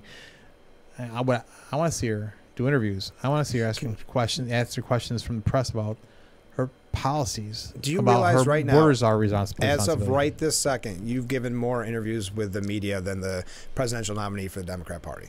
it's amazing, isn't it? Right? I mean, Yeah. the She's fact that the media allows this, as a member of the media, you get paid to do a job of interviewing people, the people in power, and and the media seems fine with It's it. like I mean, you go to those other media like it's CNN, MS, Yeah. they're like all giddy. They're like they protect her. Yeah. just like they protected Joe Biden for the past three and a half years. They were an accomplice Uh, to the, biggest to- cover up in history. of his. You know, if Yeah. they didn't have that debate, this wouldn't have happened. Mhm. And Uh, and Kamala, Kamala Harris was a, a, a partner to this conspiracy Yes, and cover course. up on this as well. It's terrible. But we know about her, the impact of her policies on inflation, and tax policies, and price control policies that she's having. We know the impact of her criminal justice policies. We know the impact of the uh, the bail the bail bail reform policies around this country that she supported and advocated for. Donate to this to release these people who are t- burning down the cities after the uh, George Floyd. Yeah. I mean, it's terrible. And we certainly know the immigration and border crisis that we're having and the sanctuary city and state issue we're going on.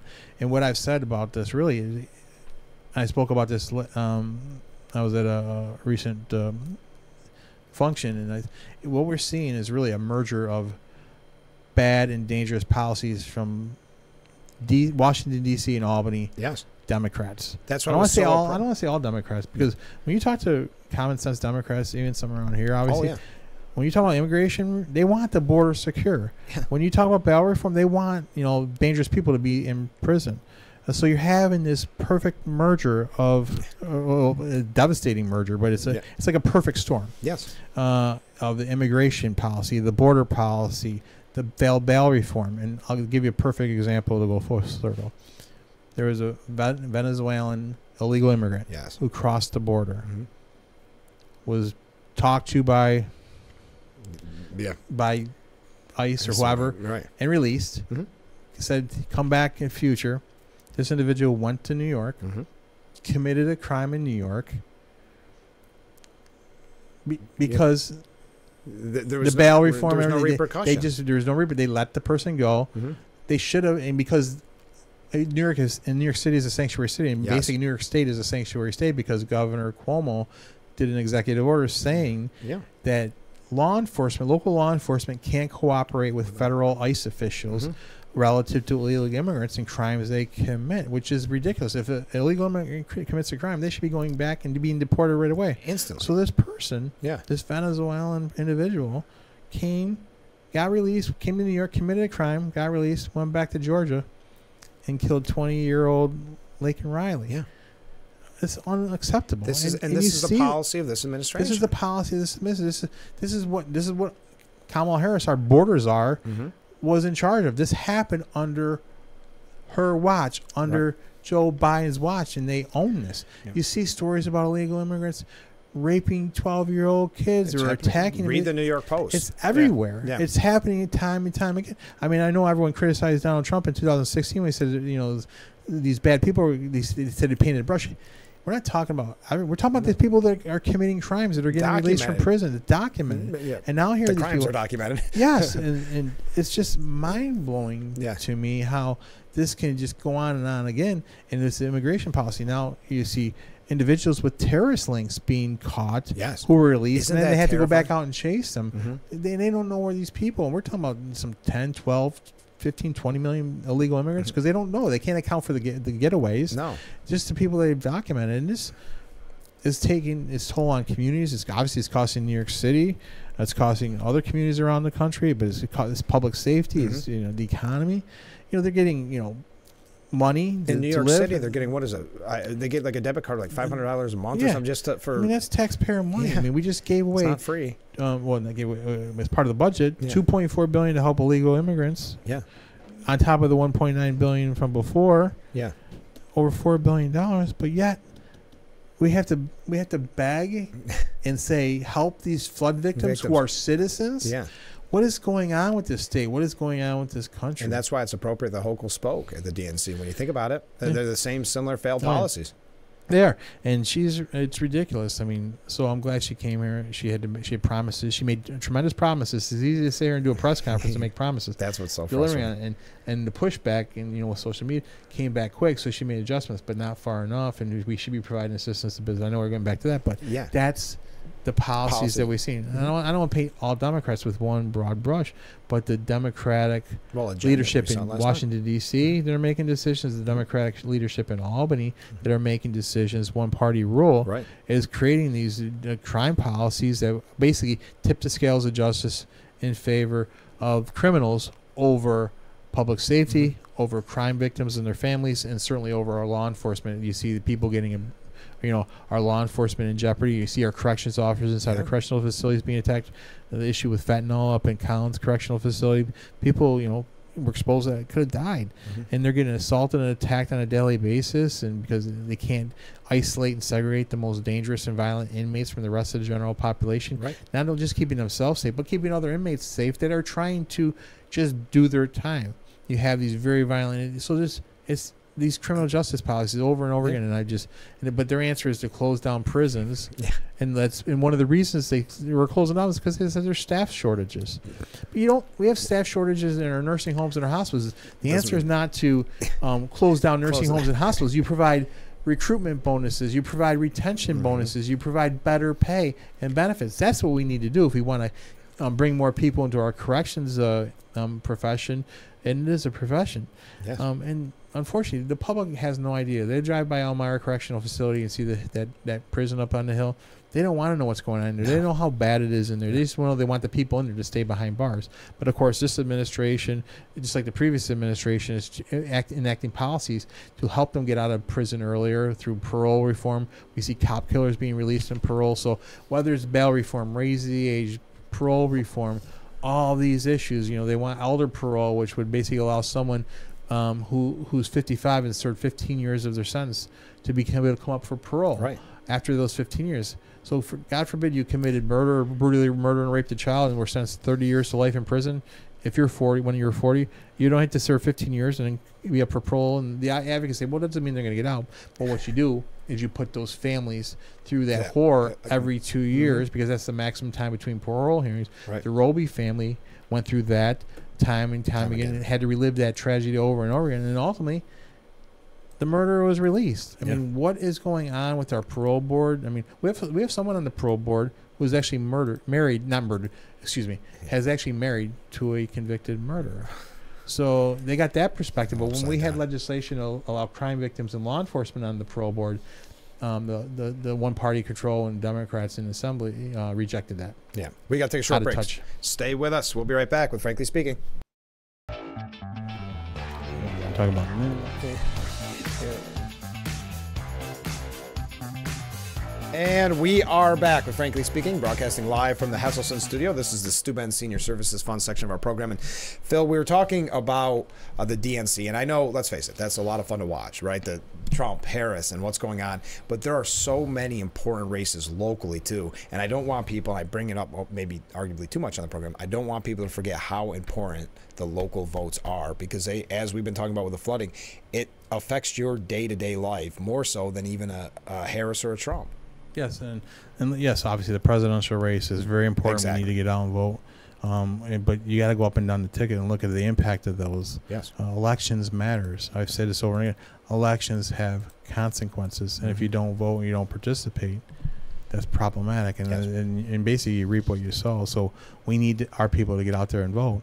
I mean, I can go down, you know, the bell. I mean, um, certainly at the U.S. Senate, Mike Sapraicone. I've seen. I've been traveling around. I was out in Allegany and Cattaraugus County, or Cattaraugus in Chautauqua County last week, um, honoring my colleagues uh, Joe Giglio and uh, Andy Yeah. Goodell, Yeah. and Mike Sapraicone was there. He's great. Um, he he gave have us a full hour on the program and stopped in. What it was nice to learn about him. He he would make a great senator. yes. Uh, Yep. And so many people echoed that statement when they were writing in when he was on the show. I also mentioned Michael Henry. He's Yeah. running for Attorney General against Tish James. I mean, Tish James is a terrible Attorney General. Mm-hmm. Uh, he ran against her three year, four years ago. Mhm. He lost, but he had forty seven percent of the vote. Yeah. He was j- just as close as Zeldin was. Yeah. So he's out there already, Good. which we need people out there early in some of these races to make the. He's out there. He was in uh, uh, Cattaraugus County. He was in Chautauqua County. He's around. He's he's Yeah. he's making the rounds, and I've seen him. At, he was at the Scope event in in Yates Oh, County great. Saturday. Uh, so they're out and about. So from a, from a uh, you know statewide perspective, they're they're important. But you know, if I just kind of go down the Yeah, line, please do. Certainly, uh, Nick Langworthy, Doing a great my job. great friend. I've known I've known Nick. I've told people uh, since 2004 when I was Oh. a district director for Congressman Randy Kuhl. He Oh, was yeah. a district director for Tom Reynolds. And I tell people Nick was looking out for me way back then, just like he looked out for us as uh, the state party chair, and like he's looking out for us every day as our congressman. Uh, we'd go to fo- events, and you, you know a lot of people use their cameras now or video, either, either their phones. Yeah. Yeah. We had cameras, Yeah. And so when- there's times we go up to the Rochester area where we overlap, and I'd forget my camera, and he'd take pictures for me, looking out for me, send it to me, so? I could wouldn't get in trouble with uh, the congressman. So, but he's doing a great job. He's been here. He's talking to people.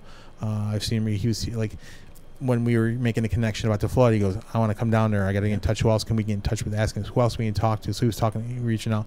He's engaged. He's a fighter. Um, I've known him for a long time, and I just want y'all to know if you haven't met uh, Congressman Langworthy, you have a true fighter in front of him as our representative in Washington D.C. He's fighting hard to make sure your voice is heard, and he knows how important this area is to him.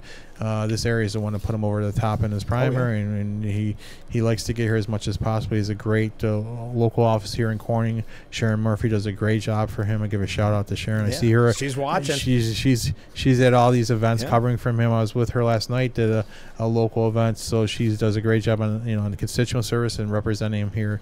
But they got a great team, and we work with them, and it is a team atmosphere. We work closely. Uh, Congressman Langworthy, Senator Tom O'Mara, who I'll pivot to now, and, Yep. and my all my colleagues at the sale. It's a team atmosphere, and we work together. Uh, so Nick is a great job, does a great job, great team fighting and advocating for us in Washington D.C. So you know, counting him. And what can I say about Tom O'Mara? I've uh, worked closely with him since uh, we both were elected. I was elected to the Assembly in 2010. He was the Senate. We've been close. We we became really close friends, but we're close partners in government. We talk all the time mm-hmm. about the issues that are impacting people here in our in, in our areas that we overlap. And like I said, we were talking about the flooding issue. We're on the phone, Oh, yeah. texting each other and talking. And this is not just on this on every issue. Whether you talk about go back to local infrastructure, or our energy policy, we talk about it all the time. So, so he's doing a great job. And I, I tell Tom's the, the, the ranker on the Senate Finance Committee, so he has to sit through tens of hours of budget hearings. And he's he does a tremendous job. He has got a, he, he does a great column every week. I wish I did columns like he did. And I, I could do a better job. But he touches on the issues that people care about. So I tell you, there's really no stronger fighter in Albany than Tom O'Mara. So he's a good friend. But um, you know, for the listeners, uh, the viewers out there, you have a great advocate as our state senator in Tom O'Mara. Yeah, and you were mentioning that you were at Giglio's uh, kind of Yes. retirement. Yeah, I heard it was a blast. J- yeah, it was a nice time. Uh, Joe Gilio, I can't, I, I can't say no. He was he. I met Joe when I was a staffer for Randy Kuhl when he was Okay. elected in 2005. He, um, good guy. I got to know him. Then I was away when I was working for Senator Winner for a while. When, when I went to Albany, he came right up to me and took me under his wing. He became my mentor up there. He looked out for me. Oh, yeah. and, and I tell people, he wasn't just my mentor. He was my big brother. Yeah, And I and I, and I tell Joe Sempolinski this. I know who's running for a seat, which I'll talk about Joe in a minute. Nothing is Joe, but I didn't. I didn't want Joe Giglio to leave yeah, because he. I felt better Yeah. with him there. I he was someone I could trust and confide in, who was helpful to me. Just a great, great guy. A, a- a decorated career in, in service, uh, both at the local level and law enforcement and in, in the assembly. He was. He's really had the respect. He's like really. I would say he's the heart and soul of our conference. Uh, didn't debate a lot, but when he spoke, you knew. oh yeah. And he had the respect of people on both sides of the aisle. He will be greatly missed. Hey, we're miss, going to miss Mer- Byrnes. Yes, and Marge Byrnes, eh, what a great friend she became for me, and we talked all the time. She knew she was always so kind with me. She knew Yeah. when she walked in, she had my hometown of Hornell, Yeah, and I go, Marge, I'm going to come around here a little bit. She goes, No, you come anytime you want. So, and it was great, and I'm sad to see her. She she became such a immediately a strong voice, strong advocate on behalf of common sense, conservative issues, and Mhm. she's just a strong. I'm going to miss her. She's she's a great friend. I wish her the very best. Uh, she deserves this. Mhm. Her and Joe both don't just deserve it; they've earned it. oh yeah. And uh, so I'm gonna miss both of them. But we have good people out there right now. Um, now Joe Sempolinski, of course, he's he, you know the viewers see Joe, our former congressman, Yeah, and we uh, you know the weirdest trajectory in history. Yes, You but know, just uh, all over the place. he's.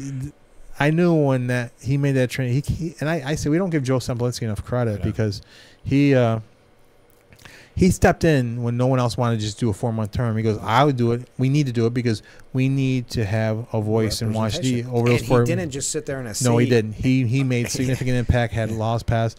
That's the type of guy I Joe is. I didn't want I know to you work that did. hard. I I, wanted him to take it easy. Yeah, but that's the type of guy he Joe is. He's- is. yeah. I mean, and I'm just excited to have him. You know, he's too. got to let race. We got to get out and vote, and he has the, the the southwestern part of the part of this: Mm. Canisteo, um, Hartsville, Jasper, Tusker, Greenwood, and um, Trying to- West yeah. and Union. Yeah, oh, West yeah, Union. yeah, yeah. So I was, and then um, and then the northern part where Marge happened, uh, she's she has Dansville, uh, Cohocton, Wayland, Prattsburgh, Mhm. and now uh, now she has uh, with the new election. I had them. I have them till the end of the year. Avoca and Wheeler, Okay. um, and I picked up Hornell, which of Yeah, course I wanted, excited and about it. Hornell. So yeah, I'm a little Yeah. excited. But uh, the the fact of the matter is, Steuben County has three members of the assembly, and I say Hornell still has three advocates for the, uh, the assembly. Cohocton, Wayland, we we all work together. We're all going to advocate for them. So I've had all of Steuben County when I first came in the first two years, and I got split up. So you represent part of the county, you represent the whole county. Yes. So I say the same thing with Seneca County that I represent, and in, in Chemung County, which I represent. I have parts of those counties. We work together with our colleagues there, and then I also represent all of Yates and Schuyler County. So. Uh, Joe's going to do a great job. And Andrea Bailey, uh, Yep. she's doing a great job. She's she's our Livingston County uh, county clerk, well known, well respected, Mhm. well liked. She's out there um, busting the trail, and Yeah. she's going to do a great job. She's going to be a great addition to the New York City Assembly. I'm looking forward to having her with us as well. And then we even have, uh, and this is, we talked to Joe about this last time because this is relatively new on our radars, which is the Steuben County uh, judge race. Yes. Because with a retirement, without getting into all the wonkiness of politics, it kind of many people were caught off guard not knowing what's going on. So we have a race there that's going to be a contested race. Yes, it is. I mean, it's, it, this is the first time really. I mean, we've had primaries. Mm-hmm. Um, this is going to be a, a Democrat versus Republican, and re- regardless of the DRR, Yeah. I just want to talk about Matt McCarthy. Mhm. He happens to be the Republican candidate. Yeah. He's a friend of mine. I'm not. Sure. I'm not going to hide that. No. But I've known Matt for over 20 years. He was a graduate of St. Bonaventure, just like I was. Yeah. Um, Matt is a worker. Matt gets it. He's a, he's a doer, and he understands the system. He's a judge. He was elected uh, s- s- Corning City judge back. I think it was 2013, 2014, Yeah. 2013 because it was a 10, 10 year term, Yeah. and he was supposed to run for that, and then this all happened. So now he's running for the the Steuben County and Family Court judge. He's been doing the job already. He's Yeah. already acting. He understands the law. He understands it. In, in these races, when we talk about our judges, these are these judicial races are just as important. They are. We need people. We see what's happening with like in Albany with the Court of Appeals and these judicial cases that just basically sides with the Democrat. We see we need people on the bench that mm-hmm. understand and respect the Constitution and will interpret the law, not try to make law from the bench. Matt McCarthy is the type of judge we want and need Mhm. here in Steuben County. He gets it. He understands. He will. imp- He will interpret the law. He will follow the Constitution and make sure our Constitution, rights, and freedoms, things that come before us in the court, he will follow. And he's he's dedicated and committed. And I just want you to know you you, you will not go wrong with Matt McCarthy as our next Steuben County and Family Court judge. He's a good guy and will work really, really hard for us. Phil, we, it's hard to believe we are out of time. So what I want to say is, can we have you on soon to talk about energy? Because I want. That's Um, my fault. I talked about everything else, but we got to talk about energy policy. Okay. Yes, there's a lot to We'll- talk about And. I'll keep you updated on that. And as I said, we'll have both of the candidates for judge in Steuben County on the program soon. Uh, thank you to all of our guests, of course, Assemblyman Phil Palmesano and Alice Williams and Heather Haskin from Elmira the Little Theater, who was on earlier. Have a great weekend, everyone. Best of luck for everybody who's playing in the Sheriff's Golf Tournament today. Have fun. And we'll be back Monday morning with Frankly Speaking here on WYDC TV. Big Fox. I look forward to it already.